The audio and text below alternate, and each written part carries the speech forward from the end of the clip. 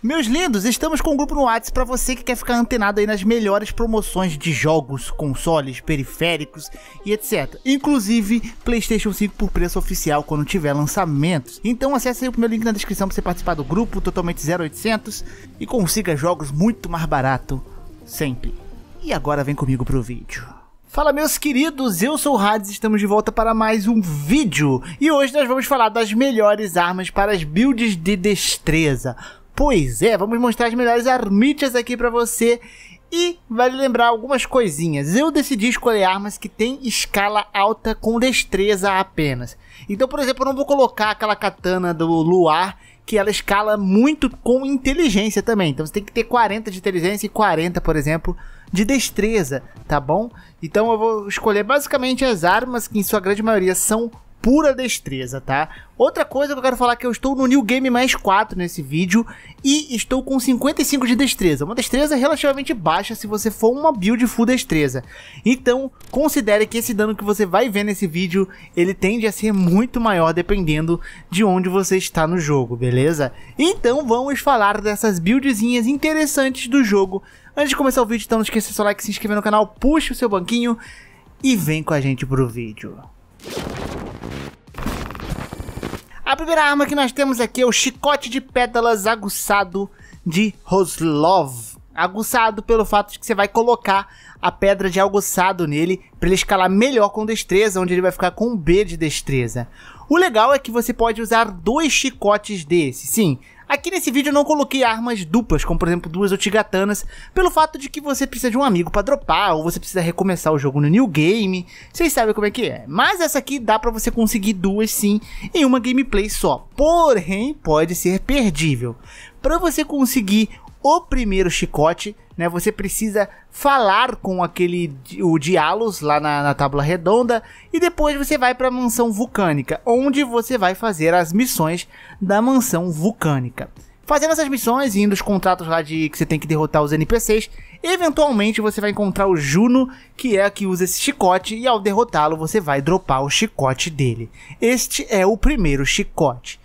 Se você fez tudo correto, chegando na mansão vulcânica, o Dialos vai estar lá, tá? Que é o NPC que usa aquela armadura bonita vermelha. E quando você terminar de derrotar o Rickard, que é o chefe dessa área, ele vai sumir e vai vir aqui para Jarrusburg, aqui em Liurnia, onde fica perto da torre da Rani e da Rinala.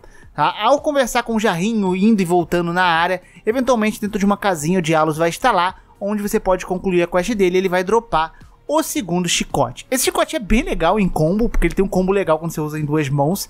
Ele tem um pulo que ele bate no chão e dá muito dano. É bom para estancar, dar uns danos de sangramento, inclusive, e tem um dano médio muito bom de combos, cara. E é uma arma bem diferente, porque muito pouca gente usa chicotes, mas chicotes em duas mãos realmente é algo bem divertido de se jogar. O sangramento que ele aplica é bem interessante, os combos de pulo dele são legais, os combos de ataques normais são legais. Eu achei extremamente divertida essa arma de se jogar e ela tem uma escala muito boa com destreza. Inclusive, não só com destreza, você pode colocá-la com escala em outras coisas também e usá-la, tá? Porque ela é uma arma mais livre onde você pode aplicar as cinzas da guerra e eventualmente mudar a escala dela. Mas como a gente está focando em destreza, a gente está usando aqui a padrão de destreza e ela é definitivamente mega interessante de se jogar.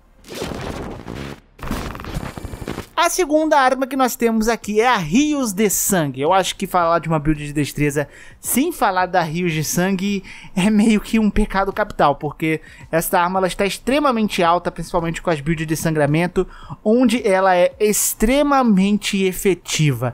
Ela tem uma escala B com destreza e você pode ter a opção de usar duas rios de sangue, que é bem da hora, mas é uma arma que, por mais que estejam vendo algumas vezes eu uso ela de fundo duas, é uma arma que você não vai conseguir pegar duas, a não ser que você tenha um amigo para te ajudar, mas que uma só é extremamente poderosa, cara. Ela é bem legal, principalmente pela sua weapon art, que ela faz ataques ali em transversal de sangue, causando muito sangramento no inimigo. Essa aqui é uma arma que você pode querer colocar um pouquinho de arcano nela para você dar mais sangramento, mas o principal escala com ela é B de destreza, tá? E ela é bem divertida de se jogar, né? Com esse sangramento dela que aplica muito rápido, muito rápido. Você derrete alguns chefes que são suscetíveis a sangramento, tá? Para você pegar ela, entretanto, infelizmente, você pode perdê-la de vista caso você já tenha derrotado o gigante ali da fornalha da forja dos gigantes, tá? Então aí você precisa de um amigo para te arrumar ou no próximo NG. onde você vai vir para a Igreja do Repouso aqui no mapa, você vai ser invadido pelo NPC desta área e aí você precisa derrotá-lo. Ele tem essa espada, você vai ganhar a espada dele e eventualmente você vai conseguir essa katana. Muito legal, muito interessante seu visual e estilo, cara. É uma das katanas mais da hora que a galera gosta. Nós temos aqui a lâmina de pedra do Rei Dragão. Essa arma tem uma escala B com destreza, ela é bem legal, é tipo uma lança e que dá dano de relâmpago. Então você pode usar ela com escudão, por exemplo, e se defender e dar dano, o que é uma boa vantagem. Inclusive, ela tem um dano muito interessante. Ela dá um dano de raio bem alto e ela tem a skill dela que você meio que teleporta. Não teleporta, você fica meio que inalvejável.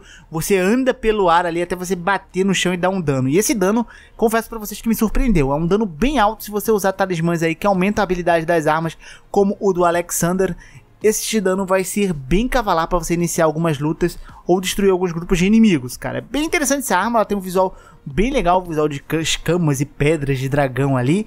Porém, você consegue ela um pouco mais na frente do jogo. Você precisa derrotar o Placido Sax, que é um boss opcional lá em Faran Azul, um tanto late game.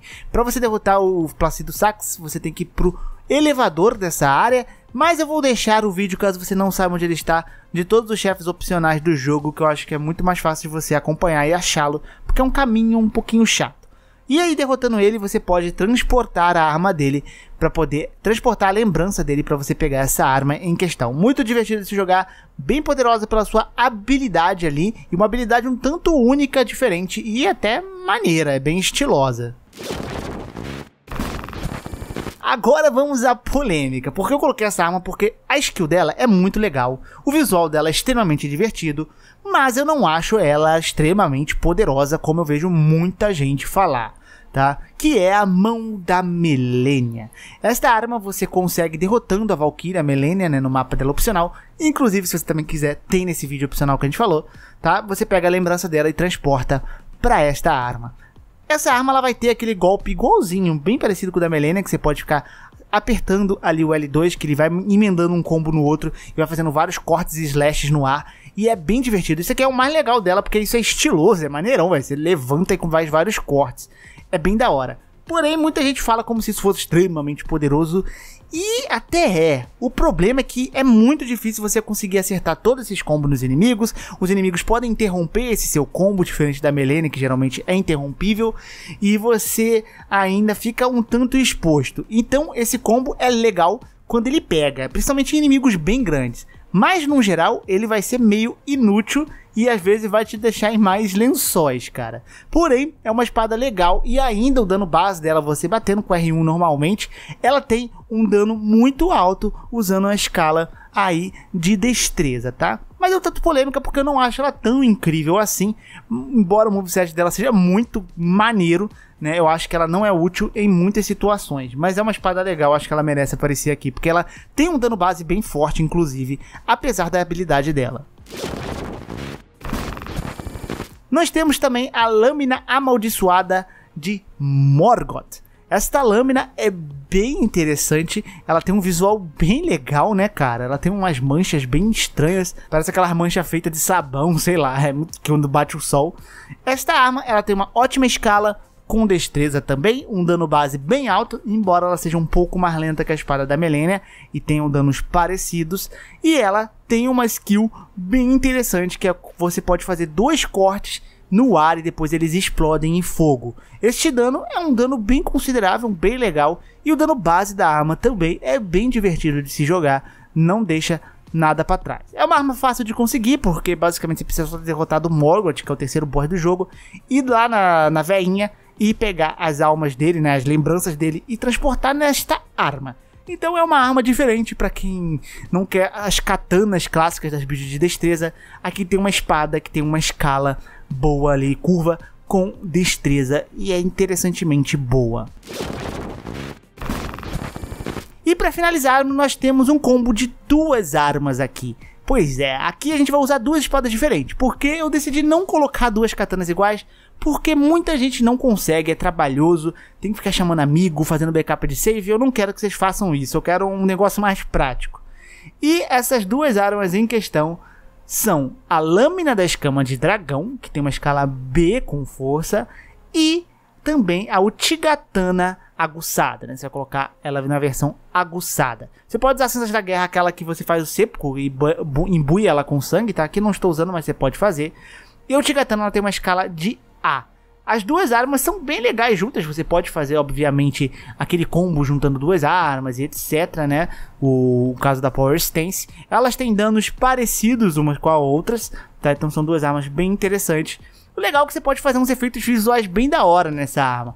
Você pode, por exemplo, equipar o Tigatana em duas mãos, imbuir ela com alguma coisa, algum sebo, e depois você pode mudar a arma para usar as duas mãos e atacando com R2, você vai dar um golpe de raio no chão e vai imbuir esta arma com mais dano mágico e raios. E essa arma aumenta bastante o dano quando ela está imbuída, ela aumenta quase 100 a mais de dano, tá? Dando um, um ataque considerável para você. Então fica bem legal visualmente, são duas katanas da hora. Eu achei elas legais porque elas possuem basicamente o mesmo tamanho. Eu acho que fica esquisito você usando duas katanas e uma é, tipo, extremamente maior que a outra. Fica meio estranho. Sei lá, eu, eu não tenho toque não, mas isso me, me buga um pouco. Então eu achei legal, elas têm um visual levemente diferente, mas você jogando você nem nota tanto. Então parece estar tá usando duas armas iguais. É bem interessante os combos dessa arma aqui. Para você que gosta de duas katanas, você pode imbuir com sangramento, dar mais sangramento e se divertir na alegria de viver. Para pegar né, esta arminha aqui da lâmina das camas de dragão, você precisa ir lá no subterrâneo, no rio Ansel, né? Para isso você precisa também ver o vídeo dos boss opcionais, porque essa área você libera ela à procura de um boss opcional. Mas se você já tiver liberada, você vai mais ou menos para esta parte aqui no meio, onde você vai encontrar um boss aqui dentro no meio desse lago, um pouquinho chato. Você vai ter que derrotar ele e ele vai dropar esta arma, né? Esta primeira arma. E para você pegar o Tigatana é bem mais simples, porque você pode pegar lá logo no começo do jogo. Se você começou com o Samurai, você já tem o Tigatana. Mas se você não começou com o Samurai, você vai vir aqui para as catacumbas do Toque da Muerte, né? Foi aqui no norte de Liúnia. Entra nessas catacumbas, abre ali o, o alavanca para poder ir pro boss. Voltando o caminho do boss, né, embaixo de uma escadinha que você sobe, vai ter uma porta ali, é bem difícil de enxergar porque tá escuro, mas tem uma portinha onde você pode entrar e lá vai estar tá o Tigatana para você pegar. Então essas são as duas armítias aí, duas katanas de punhadura dupla que você pode fazer uns efeitos bonitão, fashion, maneiros e são poderosas ainda. O ataque de pulo é bem legal, o ataque de rolar e atacar também é legal. Então é uma arma bem divertida para quem gosta aí da Nitorio, né? É, pois é, não dá pra fazer Santorio ainda, infelizmente dá pra colocar a katana na boca, fazer o Zorão, mas dá pra gente fazer o estilo de duas katanas que eu acho que é um estilo muito legal, a galera curte muito. Enfim, guys, esse aqui é o vídeo, espero que vocês tenham gostado. Se vocês gostaram dessas armítias aí de destreza. Não esqueça de deixar o seu like, se inscrever no canal. Eu fico por aqui, um grande beijo, um grande abraço, um beijo no Popovis e tchau!